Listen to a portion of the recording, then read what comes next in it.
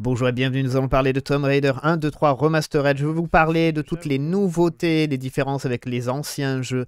Et honnêtement, c'est un très très très bon remaster. Donc déjà, on va commencer avec le menu. Donc vous avez les menus en fait qui ont été tout refaits, bien sûr, avec exactement les mêmes fonds d'écran, mais bien sûr mis au goût du jour. Et ça, c'est vraiment la chose extrêmement bonne en fait par rapport à ce remaster, c'est qu'ils ont vraiment pris l'ancien jeu et ils l'ont mis au goût du jour. Et c'est vraiment, vraiment une très bonne chose. Donc vous avez les trois jeux en un. Et ce qui est aussi intéressant, c'est que vous avez les trois add-ons, je pense, ça s'appelait avant. Euh, maintenant, on appellerait ça euh, des DLC. Donc vous allez dans Nouveau jeu, donc Nouvelle partie. Donc ça, c'est Tomb Raider 1, le normal. Et après, vous avez le petit DLC, en fait, qui a été rajouté plus tard. Donc une affaire inachevée. Et vous avez ça, en fait, pour tous les jeux. Donc vous avez les trois jeux plus les DLC. Là, pareil, nouvelle partie, le masque d'or, donc ça, c'est le DLC. Et après, pour le 3, vous avez exactement encore la même chose. Vous avez nouvelle partie et le dernier artefact. Donc vraiment une très très bonne chose. Et ce que vous pouvez faire aussi, c'est vous faites start et pouf voilà, vous repassez en fait à l'ancienne version du jeu. Et ça, c'est magnifique en fait. Mais ce qui est vachement intéressant, c'est que ce système-là en fait fonctionne en jeu. Je vais vous montrer des clips de, mes streams en fait. Et hum, ça marche aussi bien sûr dans les inventaires et même pendant les cinématiques et même pendant les temps de chargement aussi. Donc vous pouvez jouer complètement avec les anciens graphismes ou les nouveaux graphismes et changer quand vous voulez et n'importe quand. C'est vraiment vraiment super bien. Et honnêtement, pour le côté nostalgique, ça aide énormément aussi de, comparer en fait les, deux jeux en fait, les, anciennes versions et, et, la nouvelle version. Ah, donc vraiment, vraiment, vraiment cool. Alors maintenant, je vais vous montrer le mode photo, mais je voulais déjà vous, montrer en fait comment le jeu pouvait switcher de l'un à l'autre. Donc vous pouvez faire ça à tout moment, vraiment une très très bonne chose. Donc le mode photo, donc pour moi c'est R3 et L3 en même temps, vous pressez les deux joysticks, et vous avez le mode photo. Donc vous pouvez modifier l'angle de la caméra, le champ de vision, et après il y a aussi bien sûr euh, Lara Croft, vous pouvez la mettre dans certaines positions, vous avez le visage qui peut être changé, vous avez les vêtements aussi, et ce qui est intéressant c'est qu'ils ont mis euh, tous les vêtements en fait de, mm, des trois jeux. Donc euh, vous avez par exemple la combinaison de plongée qui est dans le 2, euh, le blouson d'aviateur aussi qui est dans le 2, le peignoir dans le 2 aussi, après les entraînements et tout ça, le Nevada et tout ça c'est dans le troisième jeu. Donc ils ont vraiment mis toutes les tenues en fait dans les trois jeux. Donc en gros les trois jeux sont vraiment basés sur le même Tomb Raider. Donc c'est vraiment cool, honnêtement c'est super bien fait. après vous avez aussi les armes, vous pouvez mettre différentes armes par rapport à, voilà, par rapport à ce qu'elles qu'elle portent. Et et un truc assez intéressant, donc vous pouvez enlever bien sûr le menu, et une chose assez intéressante, et il n'y a pas beaucoup de gens en fait qui en parlent, c'est que la caméra en fait elle n'est pas fixée à rester à côté de Lara Croft. Et ça, honnêtement, c'est vachement intéressant parce que du coup, ça vous permet de vous déplacer librement dans, le, dans le niveau grâce à la caméra et de faire un peu des mouvements cinématiques en fait. Vraiment sympa, honnêtement, vraiment sympa. Mais pas que pour les nouveaux joueurs parce que ce sont des jeux en fait extrêmement durs, hein, honnêtement, pour l'époque. Et même maintenant, ça reste encore des jeux assez durs.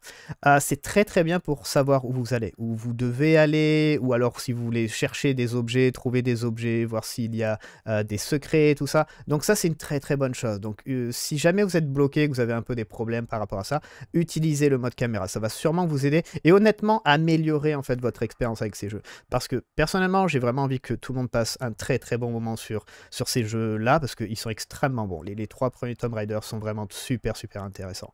Euh, donc ouais, une très très bonne chose ce mode photo.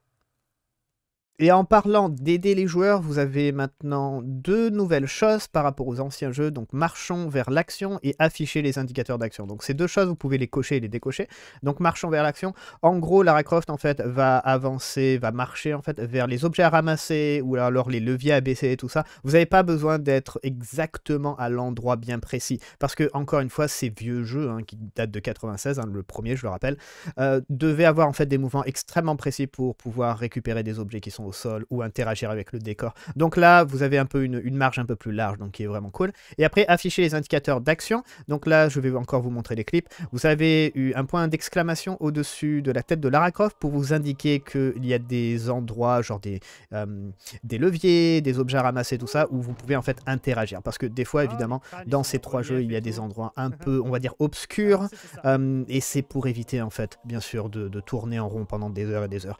En parlant de nouveautés, vous avez aussi maintenant une barre de vie sur tout ce qui est boss. Donc personnellement, je suis pas super fan de ce système-là. Et ce qui est assez intéressant, c'est que vous voyez la barre de vie quand vous êtes en mode en fait remastered, mais quand vous repassez en fait en mode old school, vous avez plus la barre de vie. Donc honnêtement, rien que ce petit détail où la barre de vie ne reste pas sur l'ancienne version, ça je trouve super top. Donc à la limite, je peux les excuser le fait d'avoir ajouté une barre de vie. Par contre, hélas, on ne peut pas l'enlever dans les options, il n'y a pas d'option pour ça.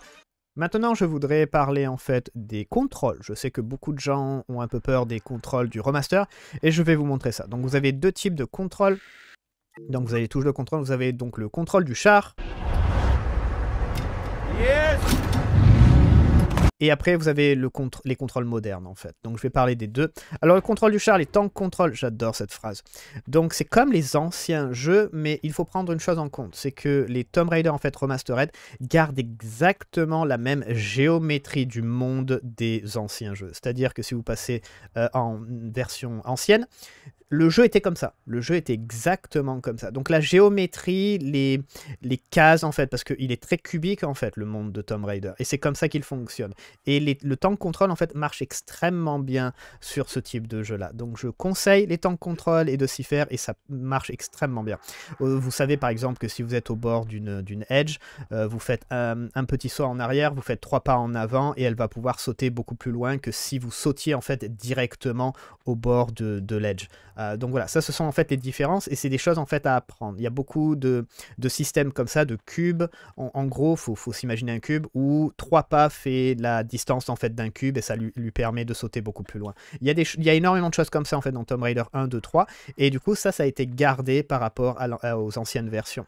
Maintenant, pour ce qui est des contrôles modernes, ce qui est assez intéressant, c'est que beaucoup de choses en fait changent. C'est pas seulement le maniement de Lara. Là, vous voyez que par exemple la caméra en fait se met toujours derrière moi et elle me suit dans le original, en fait, vu qu'il n'y avait pas les joysticks en 96, encore une fois, vous pouviez pas vraiment tourner la caméra. Il y avait juste une touche où vous pouviez faire ça, en fait. Vous pouviez euh, loquer, en fait, votre vue pendant qu'elle bouge pas et regarder à droite à gauche. Vous pouvez aussi le faire pendant qu'elle elle court, mais voilà, vous êtes assez limité. et vous pouviez pas euh, tourner la caméra. Bon, maintenant, techniquement, on peut. Vous voyez que là, je peux le faire avec le joystick. Mais grosso modo, si je reste en temps de contrôle, la caméra va toujours se remettre derrière Lara et c'est tout. Euh, pareil pour les combats, bien sûr. Là, elle va encore tourner beaucoup plus vite, donc comme l'ancienne version, bien sûr. Et maintenant, si on change, ça va changer en fait pas mal de touches. Et honnêtement, il faut vraiment s'habituer aux contrôles modernes. Donc maintenant, les contrôles modernes sont comme ça. Donc on peut en fait aller n'importe où. Et du coup, on peut euh, aussi bouger la caméra beaucoup plus librement. Vous voyez qu'elle va beaucoup plus vite. Et c'est beaucoup plus euh, simple en fait pour regarder un peu où on va. Mais du coup, il y a beaucoup de touches en fait qui changent. C'est-à-dire que par exemple, au lieu de la touche de sauter, devient maintenant la touche pour marcher. Euh, la touche action, c'était la touche sauter. Enfin voilà, il y a beaucoup de choses en fait qui, qui changent par rapport à ça. Et j'avoue que c'est assez, on va dire, difficile à prendre en main. Il y a même la, touche en fait pour dégainer maintenant qui a complètement changé. Il faut maintenir la, touche pour qu'elle dégaine ses armes. Euh, et en gros, c'est utiliser les gâchettes en fait maintenant pour, tout, pour, euh, pour tirer pour, et pour dégainer. Voilà, donc c'est extrêmement différent. Mais c'est là, mais c'est là. C'est honnêtement vraiment très bien pensé pour les gens qui ont jamais joué au temps de contrôle et qui n'aiment pas les temps de contrôle. Vous, allez pouvoir vraiment vous habituer à ça. Et encore une fois, si vous avez peur en fait des touches, genre elles sont mal mises et, tout, vous pouvez bien sûr modifier les touches. Donc vous pouvez modifier les touches de la manette, donc vous voyez. Et si jamais j'appuie sur une touche du clavier, ça, met les touches directement du clavier. Donc encore une fois, si vous êtes sur PC, euh, il n'y a vraiment aucun problème par rapport à ça. Vous allez pouvoir tout changer à votre guise. Donc une très très bonne chose. Vous avez d'autres petites choses qui ont été rajoutées en fait dans la version du coup moderne du jeu, la version modernisée, c'est quand vous avez par exemple plusieurs armes. Donc vous avez les pistolets, le fusil par exemple, là on a deux armes différentes et pour à chaque fois les équiper en fait il faut aller dans le menu. En tout cas c'était comme ça en fait pour le premier Tomb Raider si je dis pas de bêtises et après je crois que peut-être le deuxième et le troisième ont eu des touches pour pouvoir changer les armes mais c'est supposément que sur PC. Mais encore une fois ça je suis pas certain certain mais je sais que euh, certains Tomb Raider en fait pouvaient changer euh, pendant le jeu. Donc en théorie, on doit faire ça. Mais si vous êtes sur euh, PC, vous pouvez faire les 1, 2, 3 et en fait changer directement d'arme. Donc ils ont mis ça en fait dans les trois jeux, absolument les trois jeux. Donc ça c'est une très très bonne chose aussi. Pour ce qui est de la sauvegarde, là aussi on a exactement le même type de sauvegarde en fait dans les trois jeux. Donc encore une bonne chose. Vous pouvez sauvegarder absolument où vous voulez. Donc euh, vous êtes limité par contre à 32 emplacements de sauvegarde. Je crois qu'à l'époque c'était 16, donc maintenant ils l'ont doublé, donc ça c'est une bonne chose. Mais vous avez vraiment aucune limite. Là par exemple on est à 91 sauvegardes. Je sais, je sauvegarde énormément, mais vous pouvez absolument sauvegarder où vous voulez. Et ça c'est une très très bonne chose. C'est fini l'époque où il fallait récupérer des cristaux, utiliser des cristaux et tout ça. Euh, c'était extrêmement... Ça rajoutait tellement de difficultés à, à ces jeux extrêmement difficiles déjà à la base. Donc maintenant vous pouvez sauvegarder où vous voulez. À savoir aussi qu'il n'y a pas de checkpoint, donc ça c'est important, donc du coup vous êtes obligé en fait à penser, à vous rappeler de sauvegarder. Et si jamais vous mourrez, vous faites des, un run par exemple sans sauvegarde et que vous mourrez dans votre dans ce dans un niveau, vous avez euh, l'option en fait de rejouer le niveau. Euh, c'est pas des vraies sauvegardes, c'est seulement le fait que vous avez l'option de rejouer le niveau en question si vous venez de mourir. Donc gardez ça en tête.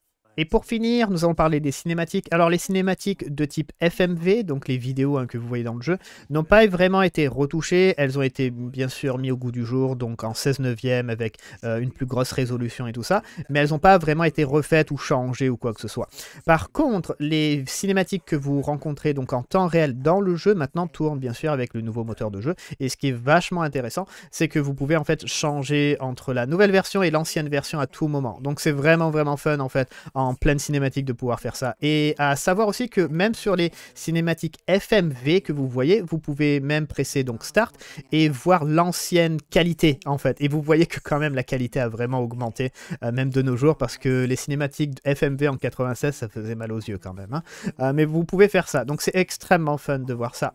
Et en rajout aussi, nous avons maintenant des sous-titres. Alors je crois bien que les anciennes versions des jeux n'avaient pas de sous-titres. Donc maintenant vous avez les sous-titres. Et vous avez aussi l'audio. Vous avez différents audio. Donc pour la version qui vient de sortir, donc le remaster pour Tomb Raider 1, 2, 3, vous avez français, anglais, allemand, russe et vous avez même Lara Croft qui parle en japonais. Donc ça c'est vraiment une très très bonne chose que beaucoup de, compagnies en fait ressortent des anciens jeux sans rajouter les packs de voix en fait, les anciens packs de voix qui étaient euh, à la base dans les jeux originaux. Donc vraiment de pouvoir avoir ça sur les trois Tomb Raider remasterés, c'est vraiment une très très bonne chose. Nous arrivons donc à la fin de la vidéo, de ma petite review de Tomb Raider. Honnêtement, je suis ultra content du résultat en fait. Pourquoi? Parce que le résultat est vraiment très intéressant. ils ont complètement 100% gardé en fait l'esprit des anciens jeux, des jeux originaux, et ils les ont mis tout simplement au goût du jour. Et le fait de pouvoir switcher à n'importe quel endroit, n'importe quel moment entre l'ancienne version et la nouvelle version par rapport au graphisme, c'est vraiment cool. Et tout simplement pour 28,99 donc 29 euros sur Steam. Avoir les trois jeux, c'est vraiment super bien. Et honnêtement, c'est d'une très très bonne qualité. et pour moi, je pense que ça en vaut euh, largement le prix, euh, vu la qualité que c'est. Et j'espère vraiment que le, jeu va fonctionner et qu'on aura peut-être la suite euh, en remastered aussi, de la même façon, de garder vraiment la même géométrie, le même esprit en fait des anciens jeux et tout simplement les mettre au goût du jour nous sommes donc à la fin de la vidéo. Merci beaucoup d'avoir regardé. N'oubliez pas d'aimer la vidéo, voire même de la partager. Ça aide énormément ma chaîne, vous imaginez même pas. J'essaye vraiment de la faire un peu plus fonctionner ces jours-ci. Donc voilà, si vous pouviez le faire, ça aide énormément. Vous pouvez même, si vous vous sentez d'une âme généreuse, faire un don par Super Thanks. Tout est dans la description. Et bien sûr, venir voir mes streams, tout simplement. Il y a beaucoup de nostalgie pour moi, mais je passe vraiment un très très bon euh, moment en fait sur le jeu, surtout euh, le Switch. Le Switch de, de l'ancien et du j'adore cette, euh, cette mécanique. Tous les remasters devraient avoir ça. En tout cas, merci beaucoup d'avoir regardé. À la prochaine, portez-vous bien. Ciao, ciao. Est-ce que tu peux changer en cours de cinématique Ah ouais, putain, ça tue Je suis sûr que je peux changer en cinéma euh, pendant les cinématiques du jeu, alors. Ça, c'est trop bien. Ça, c'est trop bien.